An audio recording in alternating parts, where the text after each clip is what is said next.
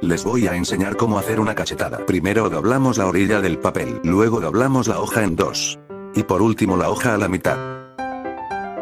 Y ahora separamos el centro del papel y lo tomamos en la punta. Ahora vamos a probarlo como quedó. Ja ja ja ja ja ja, lo asusté.